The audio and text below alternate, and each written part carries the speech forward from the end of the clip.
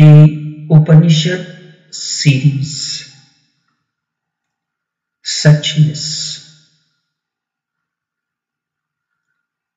It is of Buddhist origin. Suchness means things are such. Do not take any attitude or any opinion. Do not judge or do not condemn. It is of immense significance. Suchness is the word used in Buddha's approach towards the reality. The word suchness is as important in Buddhism as God is in other religions. It comes from English language and the Buddhist equivalent for is Tathagat. Tathagat means thus came, thus gone. Just watch the things as they are without interfering. It happens human life is full of tribulations, full of tribulations, but what we do when a situation comes in, we react because basically we are a garbage bearer. We carry within us impatience, frustration, greed, and many things like this. Whenever any opportunity comes in, we just dump it. This tribulation comes as an as a test for you. Every moment existence keeps on creating such situations to see how far you have grown. How much gracefully you have lived. It's not that the test will come at the end of the semester. Long time when the education system was at the end of the semesters, not semester but the year, there will be a final examination but now things have changed. Very often the tests are being taken and there are marks for all these tests. These are added on together to get the final tally of the marks. In the same way, existence gives us each moment a test and how gracefully we have lived that test will have some marks and that will be added on to the final tally that will determine how graceful your life has been. Why things are happening, we have no clue over it. When a circumstance and situation comes in life, we have a no clue why is this happening. But if it is happening, there must be a reason, and this we have to understand. And how gracefully we go through this with an understanding that will determine your inner growth. Many times it happens when a situation comes in, we get panic and we tend to react to these situations. At the end of your life is not that there will be a test. Every moment, circumstance and situations bring a situation for you to interact and it will determine how well you have accepted it, how well you have responded it, how well you have understood it, it is all important.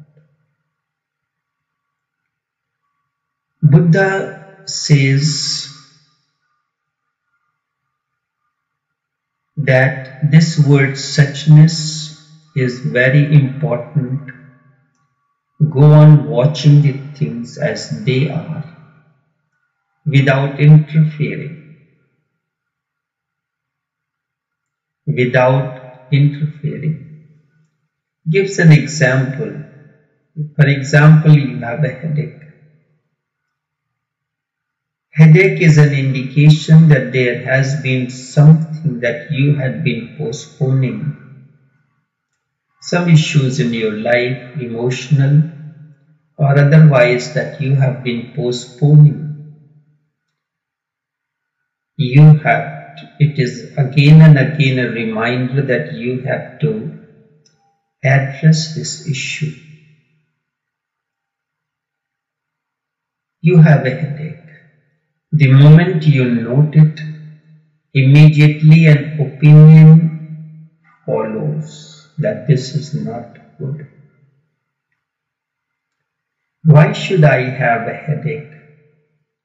What should I do not to have it. You are immediately worried. You have taken an opinion. You are against it. You have started repressing it. You have to repress it. And for that you are using the chemical methods. You are repressing it chemically by taking aspirin and other analgesics or you have to repress it in the consciousness and instead of looking at it you are trying to put it aside you get involved in something else and you are trying to distract your attention. You want to be distracted in something else so you can forget it, but in both cases you have missed suchness. Suchness means you have accepted it as it is what will Buddha suggest? Buddha says, take notice twice. Headache, headache.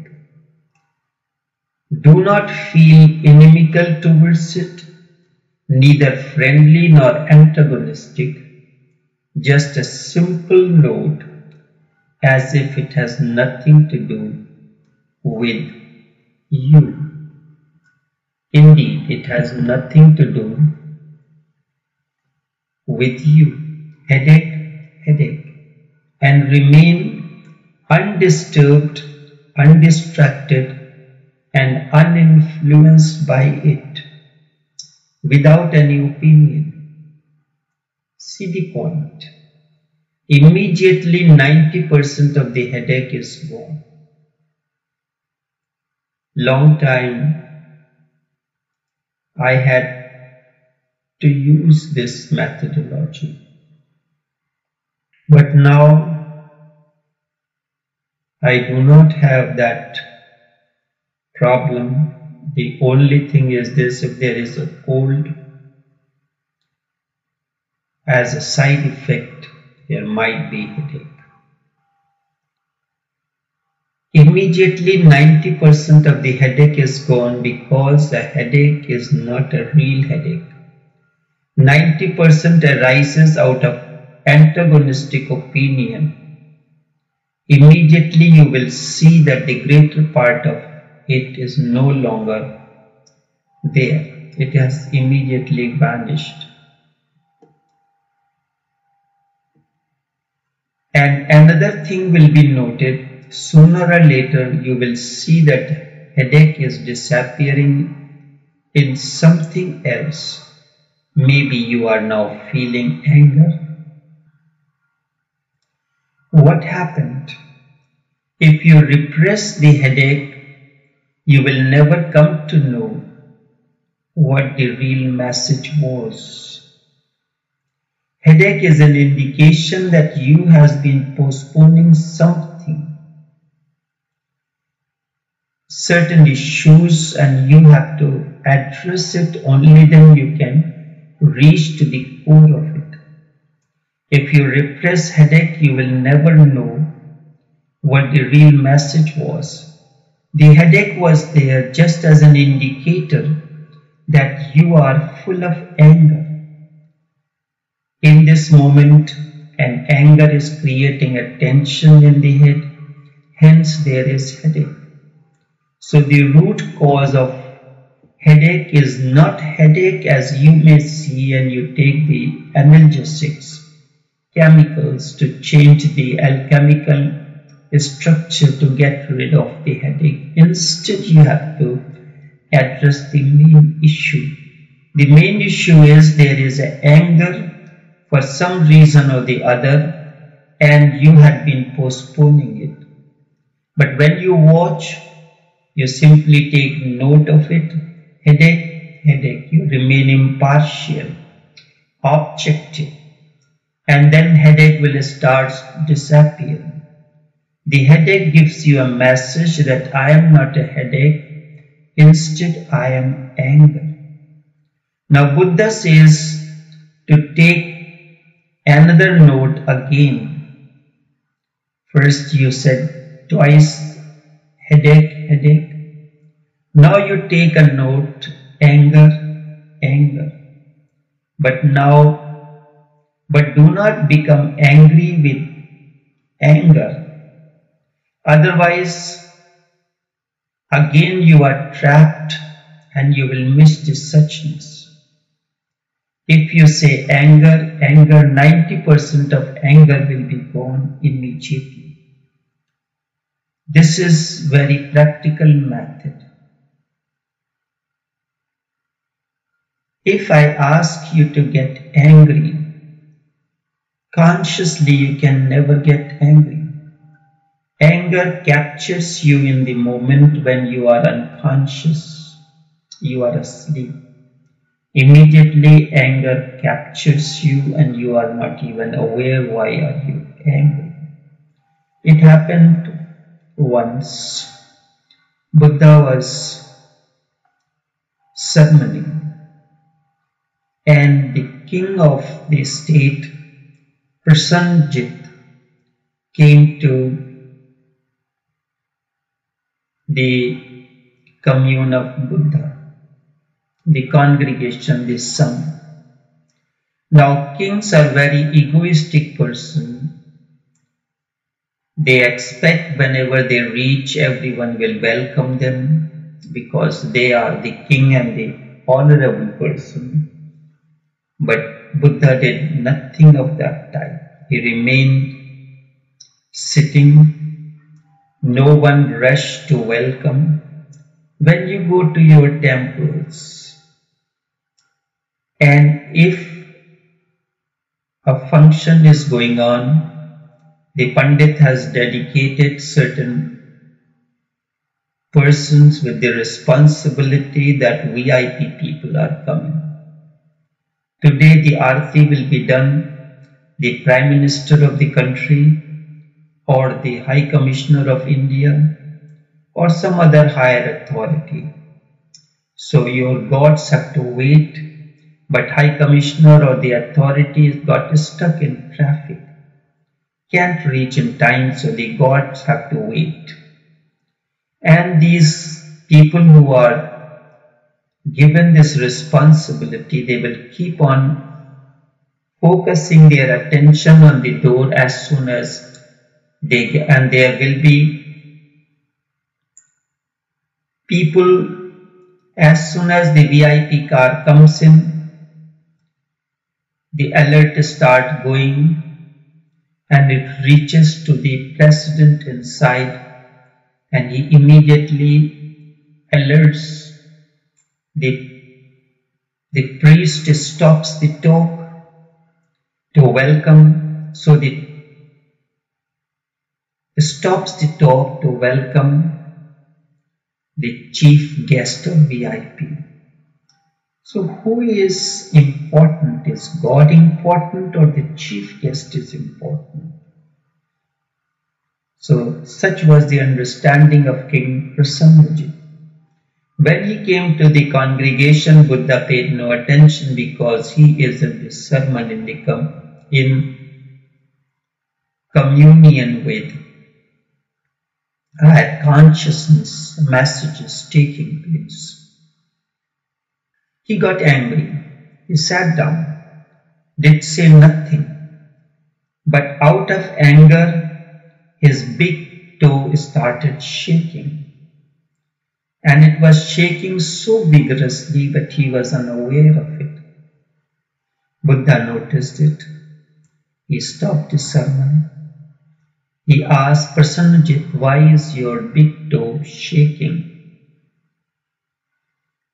In the same state, he said, you continue your sermon, it does not matter. Buddha said it matters.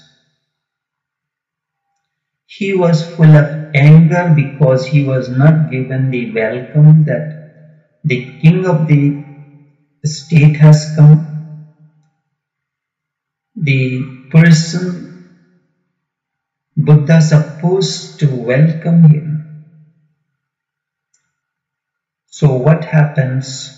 Buddha said, take note, another note again, anger, anger.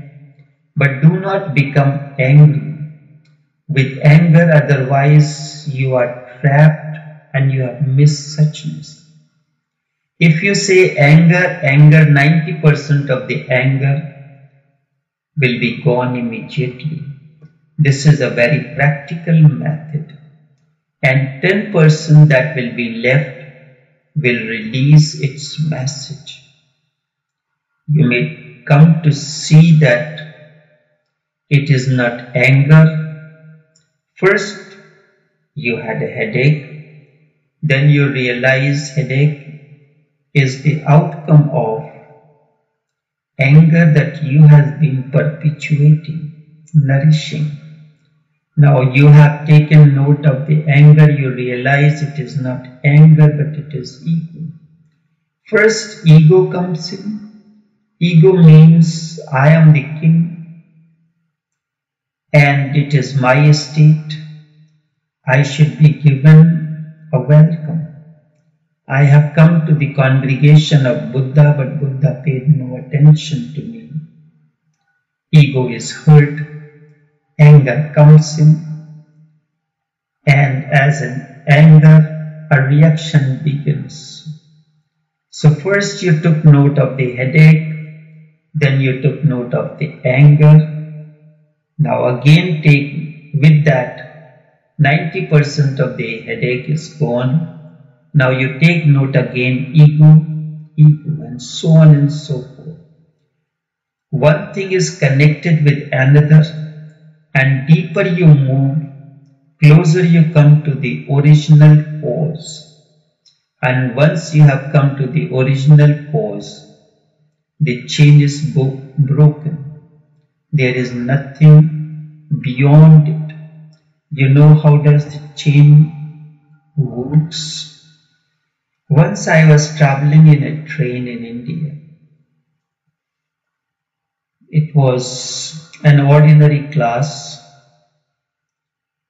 So People were sitting on the seats, some standing, and a few were hiding under the seat. The ticket collector came to check the tickets. He checked the tickets of everyone. Then one person was sitting under the seat hiding. So he pulled him out and asked him, Where is your ticket? He said, Sir, I am a very poor man. Then why are you traveling? The ticket collector asked, and you know it is a crime to travel without ticket. He said, Sir, I am very poor. I have to go to my village because I am getting my daughter married. So please have mercy on me. So somehow the other ticket collector felt mercy and he looked at someone rich and said if you can contribute his ticket. So it, the matter was resolved. A few seats lower down, another man was hiding under the seat. Again the commotion started, so you can hear the noise so the ticket collector jokingly asked the man, What is that going on? He said, Sir, I am going to. So the ticket collector jokingly asked, Are you going to get your daughter married also? Because you do not have a ticket and you are traveling to your village. He said, No, sir. I am not going to get married my daughter. Instead, I am the would-be son-in-law of the old man who you met a few seats earlier. This is a chain reaction. One thing leads to the other. That man was getting his daughter married and his son-in-law, would-be son-in-law was hiding under another seat. This is how the chain reaction is. So in the process, a moment will come when you will take note of the last link in the chain and then nothingness. Then you are released from the whole chain and there will arise great purity and silence. That silence that arises is called suchness. It has to be practiced continuously. Sometimes it may happen that you forget and you have made an opinion unconsciously or mechanically. Never try to make an opinion. That is why I said life is full of tribulations. Every moment a circumstance and situation comes in and we forget and we forget that we were not supposed to act in that way. But what can be done? It has been a fake. You have forgotten. It has not born out of you. It's like a, a woman who is acting as a pregnant woman on the stage and she is directed to act in a particular way but all of a sudden in an important scene she forgets what she's supposed to do in next if something has taken place within your biology, then everything will become natural and spontaneous, and you will not forget. You will not miss. Just take a note, and once you have taken a note, suddenly you will see if an opinion arises in you, and you have taken a note saying the opinion opinion, suddenly you will see 90% of the opinion is gone and 10% that remains that releases its message to you. What is its message? The message is that there have been some inhibitions, some taboos. Out of that taboo, the opinion has arisen. A sex desire comes in the mind, and immediately you say, This is bad. This is the opinion. Why is it bad? Because you have been taught it is bad. It is a taboo. Take note and go home. Sometimes it will happen that you have judged, not only judge, but you have made an opinion. Now, not only made an opinion, but you have become depressed that you have missed. Then again take a note because depression has come so you say depression, depression. Whenever you become conscious at whatever point, give you an example. You know it is weekend, you are working, you are going to get your salary. Expectations are there that as you get the salary, you will carry on your work. But when you reach, you realize first your boss is not there, so there is no one to give you the salary. So you wait an opinion is formed. You are in a rush to collect the salary and rush down to go and get something that you wanted or do something. After waiting for an hour or so, while many thoughts came to your mind, the boss comes in and he gives the news that Things were difficult, so today he cannot get the salary. Anger comes in. So, at whatever point something arises in you or surfacing in you, become aware of that.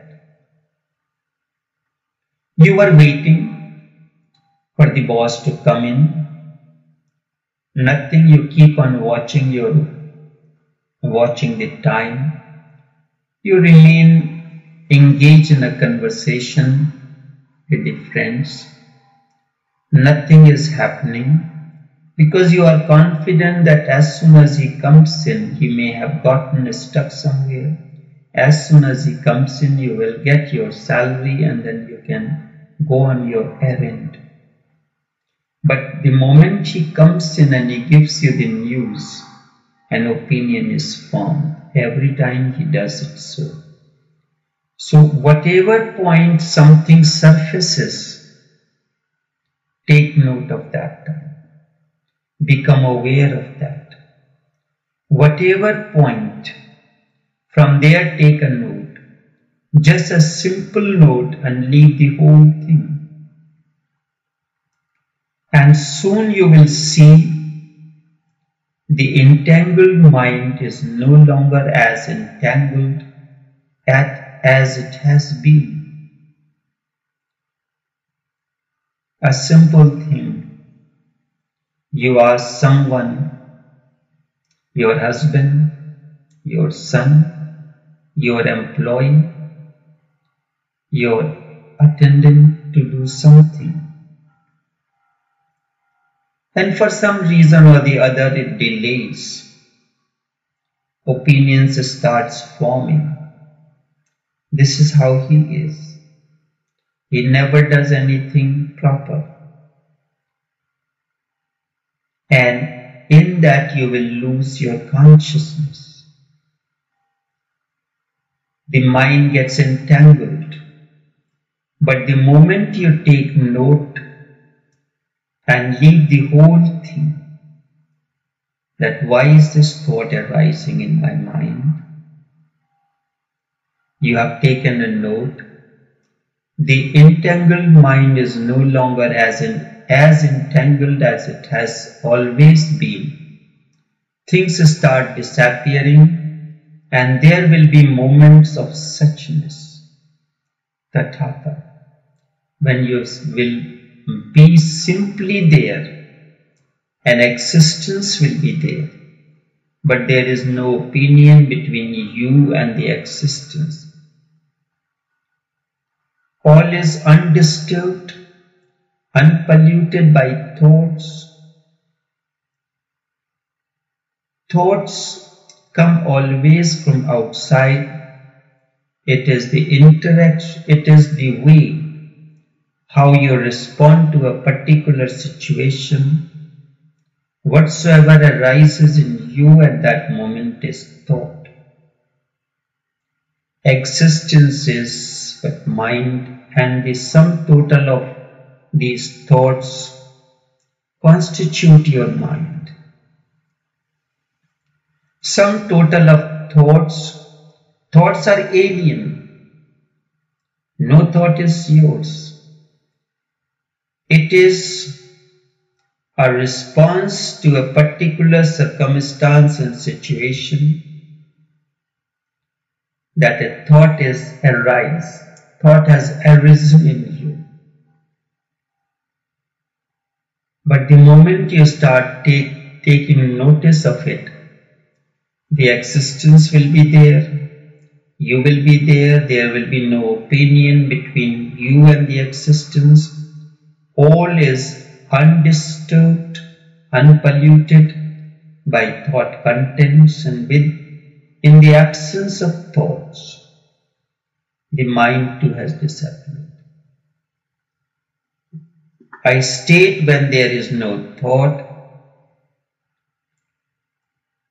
there is no mind. That state Buddha calls as the state of suchness. And that is important along the journey. Then you will realize that whenever life presents a tribulation, you are accepting it gracefully without any thoughts, without any opinion, and you will immediately realize that it is no more troubling you. You have gracefully gone through it. And when you continue to live your life in that way, in the final analysis, what you get is a graceful exit. Just as when you have attended all your regular tests that takes place during the semester and the aggregate of all those adds up together along with the final exam you get the grading and higher the grade is you walk out of the class gracefully with honors so you exit the life gracefully. You exit the life gracefully out of and so for this is not that the test will be at the end of life. Every moment life will go on presenting the existence goes on presenting the situations, tribulations for you to respond to it consciously or unconsciously.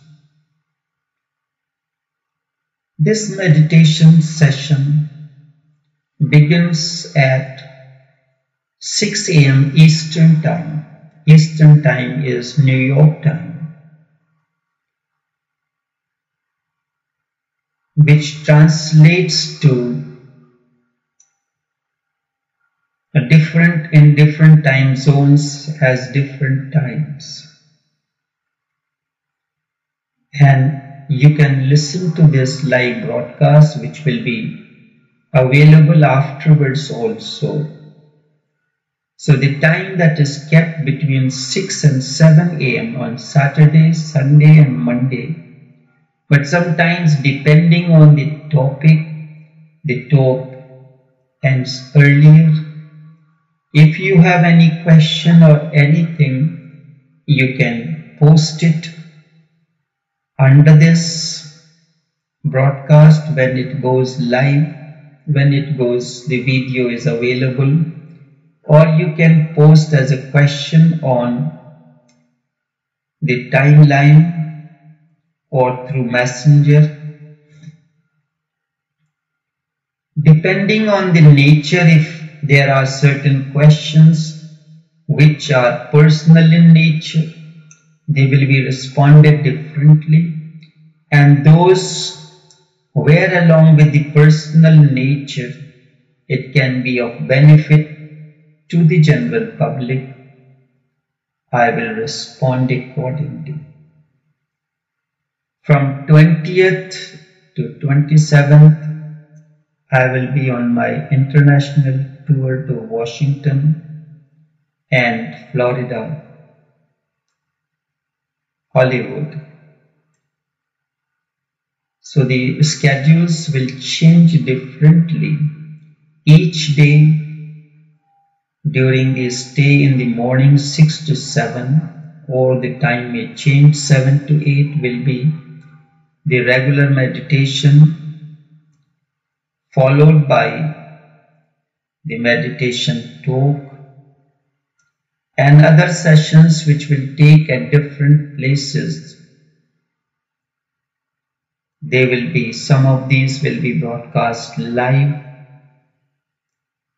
and I will try to see that these are made available through the live broadcasting at different venues.